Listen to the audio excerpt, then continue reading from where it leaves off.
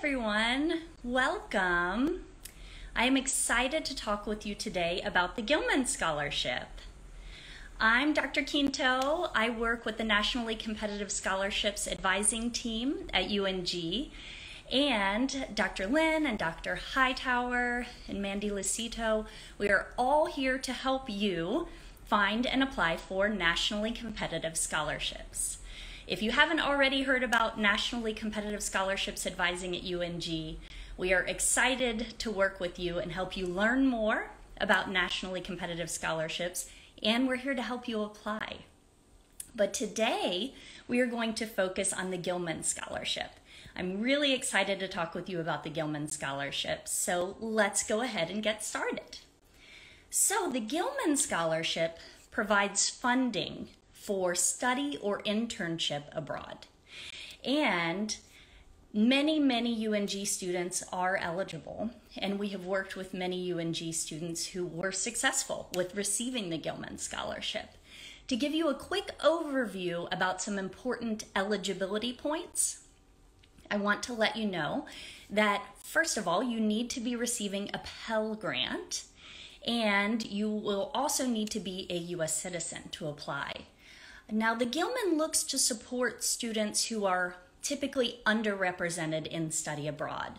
So, this is including but not limited to first generation college students, students in STEM fields and majors, uh, ethnic minority students, students with disabilities, students who are currently associate students in addition to bachelor's. So it's good for you to know that Gilman has a particular focus on supporting students who are underrepresented in study abroad. Moving on, um, it's also good for you to know that if you are a current associate student at UNG, then your study or internship abroad will need to be at least two weeks in duration to be eligible to apply for the Gilman. And welcome everyone who's just joining us. Now, if you are a current bachelor student, then your study or internship abroad will need to be at least three weeks in duration. So that covers some of the eligibility details. And anything and everything that I cover today, if you have questions about any of it, of course, we are here to help with Nationally Competitive Scholarships Advising at UNG. Now, moving on, let's talk a little bit about that financial piece. So, as I mentioned, Gilman will help to fund your study or internship abroad, but, you may be wondering how much? Um, up to $5,000 toward that study abroad. And if you are going abroad to study a critical need language, so these are many of the languages uh, spoken outside of Western Europe, then you could be eligible for the Critical Need Language Award, on which is a part of the Gilman Scholarship, but that would provide an additional $3,000. So this is funding for up to $5,000, potentially even up to $8,000 for those of you who are interested in studying a critical need language. Moving on, let's talk a little bit about the Gilman Scholarship application. So, we are here to help you not only find out whether you're eligible to apply for Gilman or one of the many other nationally competitive scholarships we work with, we're here to help you prepare the application as well. So, once you find out which scholarship you're eligible for, let's say that you're going to go ahead and apply for Gilman. Then we are going to meet with you to talk with you about your interests, not only your major, but also your academic journey and what you're interested in studying and what you're interested in doing. And then we'll help you talk about that journey to this study abroad and how you want to write your essays about it. So the application is comprised of an online form, and a, a, really important part of that are two essays that you'll write. So we're going to be meeting with you to really help you brainstorm these essays, get them started, and then every step of the way. So as you prepare the essay, every draft we can provide feedback on. And with each draft, your essay will become stronger. So we're here each step of the way, and helping you to prepare and strengthen those essays is a really important part of what we do and the support you, we provide. In addition to the online form, the essays, you will include your transcripts. And I wanted to point out some important advising um, that not only we are providing, but also our colleagues at UNG. So you will also be meeting with your study abroad advisor in the Center for Global Engagement at UNG. If you haven't already met with one of our colleagues in CGE, um, it will be important that you meet with them as soon as possible in the process, but also they are experts and provide invaluable information on study abroad. So, this will really help you choose and plan that study abroad. You will also need to meet with one of our colleagues in the financial aid office. So, both the financial aid advisor and the study abroad advisor, once you actually submit the Gilman scholarship application, will certify it. So, you will need to meet with both of them as well. Now, we are excited to work with you on those essays and on that application, and we will be collaborating with these colleagues on campus. So, we're really your team and we are here to support you each and every step of the way. Moving on, we want to let you know that starting early is a very good idea. So, Gilman has two deadlines each year. One is in March and one is in October. And October might seem a little ways away right now, but we want to let you know that it's not too early. In fact, the most successful applicants start early and they work with us um, through several essay drafts. So that's why we really want you to schedule an appointment as soon as possible. We're here this summer. Of course, we'll be working with students throughout the fall and spring, and we're doing virtual advising right now. So we schedule advising appointments through Team or Skype or your preferred platform. And then we really work with you to help you get this started. So we want to let you know it is not too early. Um, another really important part of the Gilman, as I mentioned with those two deadlines, is that if you don't receive it the first time you apply, you are eligible to apply again. And what our data has shown us is that applicants who reapply have a higher chance of receiving it. Um, in addition, applicants who work with our office are most successful we are really going to give you that expert feedback on those essays and help you prepare the application.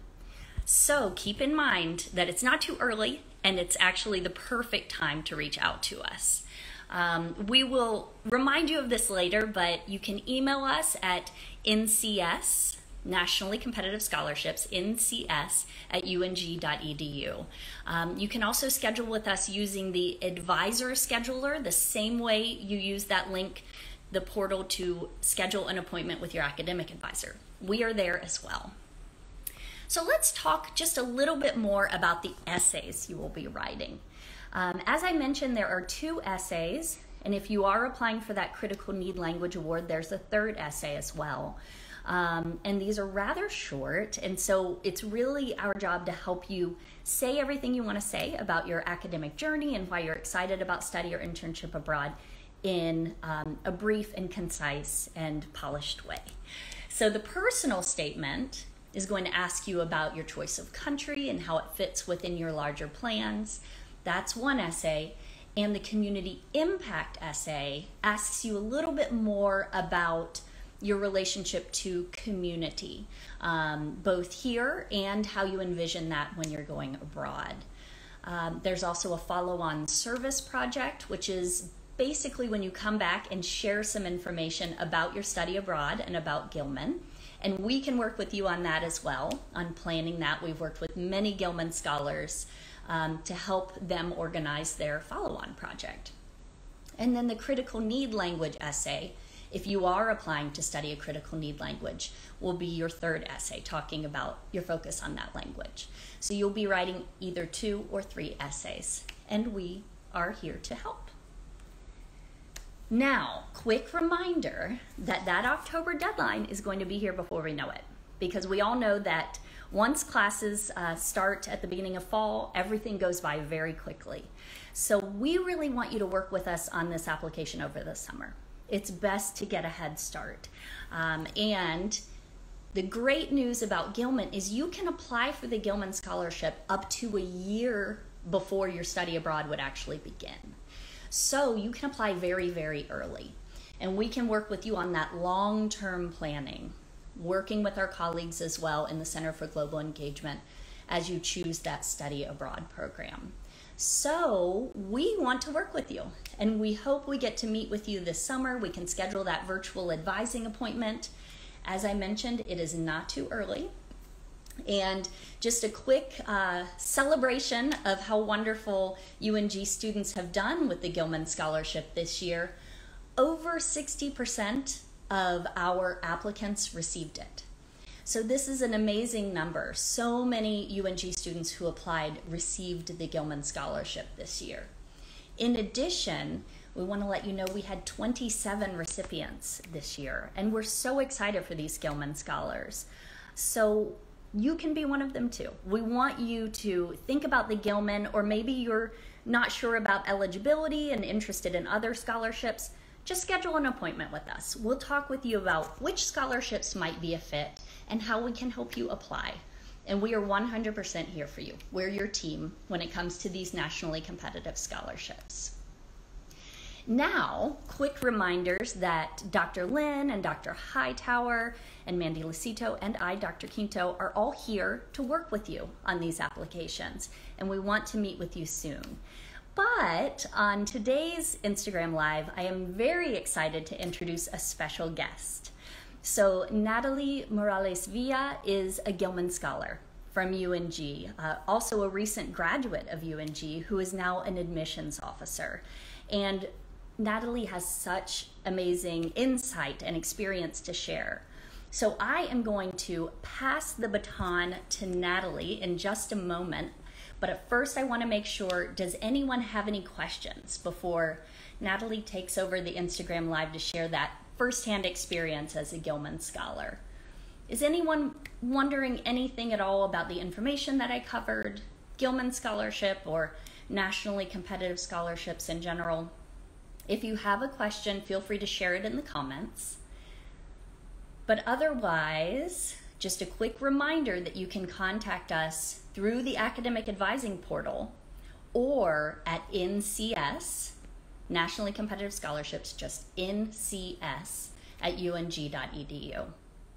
So I don't see any questions coming up, which means I am getting ready to sign off, and in just seconds, uh, Natalie Morales Villa will be taking over to talk about her experiences as a as a Gilman scholar and to talk with you about what this process is really like. So, thank you all for joining us, and excited to uh, hand over the mic to Natalie. Hey everyone, my name is Natalie Morales, as Dr. Quinto was saying. Let's see, it looks like I'm having a bit of an issue logging on. Oh, there we go. I can see Dr. Lynn say hi. Hey everyone. Um, so, as Dr. Quinto mentioned, I was a Gilman Scholar for the 2019 cycle. A little bit about my background I studied political science and a minor in Spanish translation.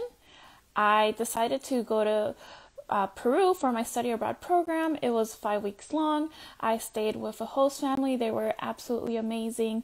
My favorite parts about Peru were not only the culture, seeing the similarities between Mexican and Peruvian culture, but also the food is absolutely delicious, the geography. During my study abroad experience, I was able to go to Machu Picchu, to, uh, to Rainbow Mountain. I also took pictures with llamas, and I attended La Universidad Andina del Cusco. And I got to meet other students from throughout the world and throughout Latin America that were also studying there. So it was an overall amazing experience.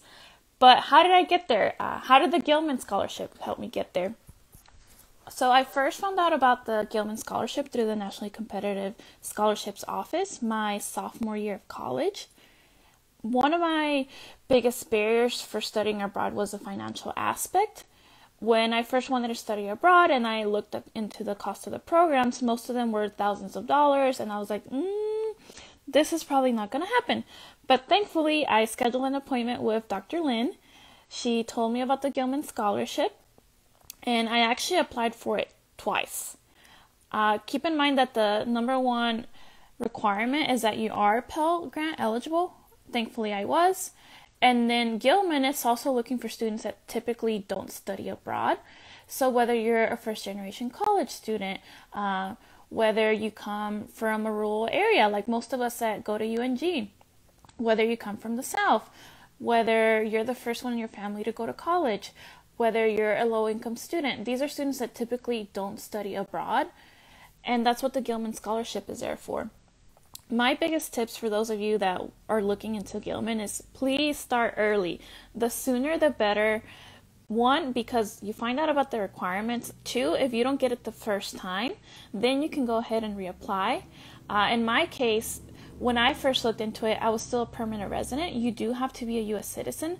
So I had to wait even longer so that I could obtain my citizenship and then apply to the Gilman Scholarship. Uh, the neat thing is that Dr. Quinto and Dr. Lin are really, really flexible and super helpful throughout the process. The first time I applied for Gilman, I was actually doing an internship in DC. So I would send over my essays to Dr. Lin, she would give me feedback. Unfortunately, I did not get my essay revised as many times as I should. So the first time that I applied for Gilman, I did not get it. um, but again, I decided to reapply again and I got it in 2019 and that helped me cover my trip for Peru. I was able to get $2,000. And another thing that students usually don't know about studying abroad is that Pell Grant covers it, the Hope Scholarship will help you cover it, and the Gilman Scholarship.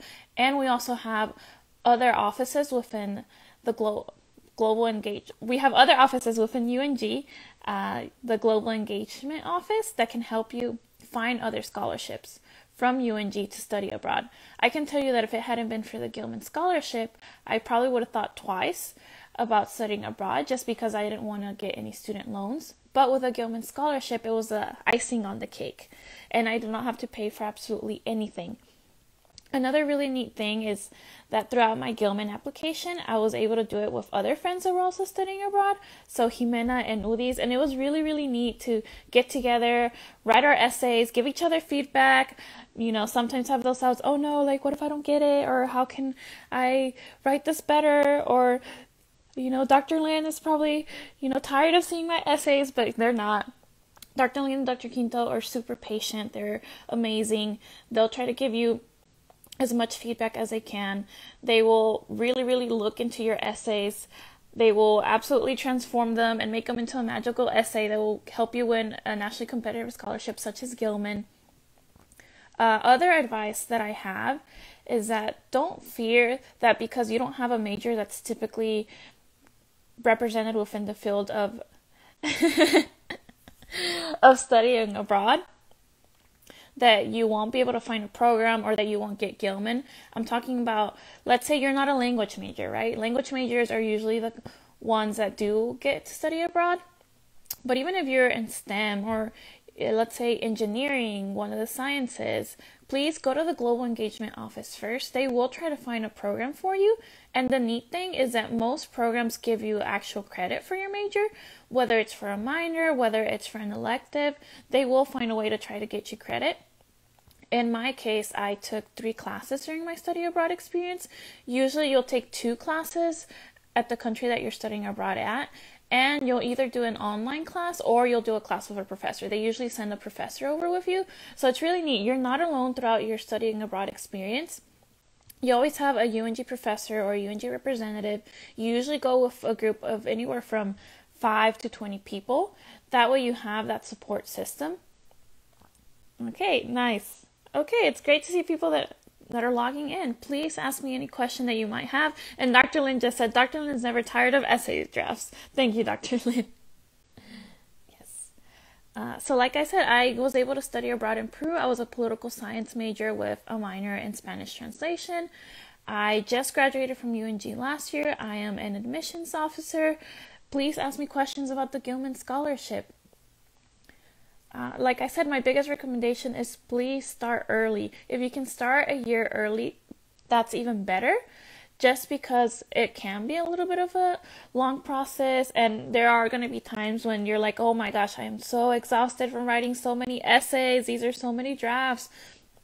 I think in my case, I gave Dr. Lynn over six drafts, and it was just a matter of going back and forth with each other.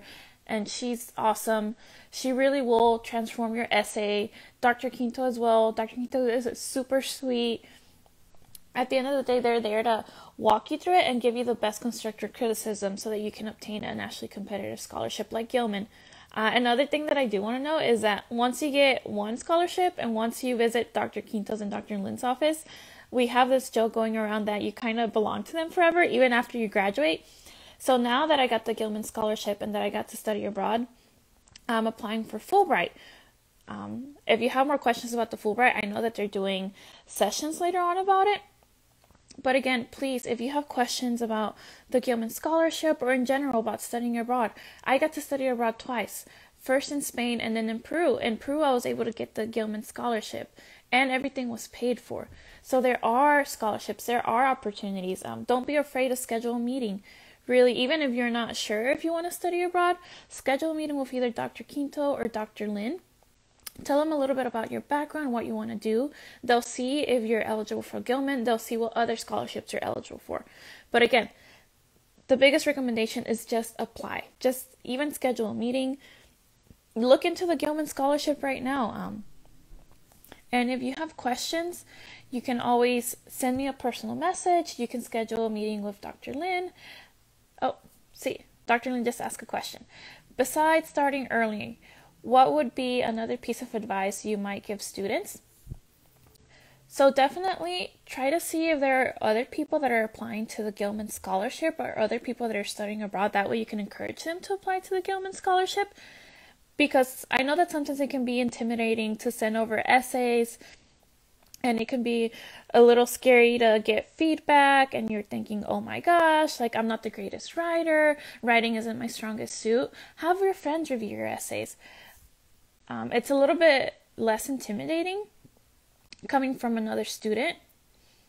And also it can be really really encouraging. In my case i was getting i was writing my gilman scholarship essay with three other friends of mine so that really helped me just get other ideas, see how they were structuring their essays, see kind of like what they attributed to their program, why they wanted to study abroad, and the program that they chose. Okay. And again, don't be afraid. At least ask about it. Don't don't limit yourself. I know sometimes it can be hard like, "Oh my gosh, like what am I going to do about the money aspect or I'm not the greatest writer. At least give it a shot. Mm-hmm. Start early. If you don't get it the first time, reapply. Just don't give up. Surround yourself by your friends. Uh, in my case, I was actually with my friend when we got the email saying that we both got the Gilman scholarship, and it was super, super neat because we got to celebrate together that we got Gilman. Let's see. Oh, yeah, and Dr. Lynn is asking, is Gilman only for summer study abroad? Nope, it is not. You can study abroad either during the summer, during the fall, or during the winter. In my case, I did study abroad during the summer. Depending on if you're an associate student or a bachelor student, you can. There are limits I know as to how long you have to study abroad. And again, this is why it's good to look into all of this early so you can plan ahead.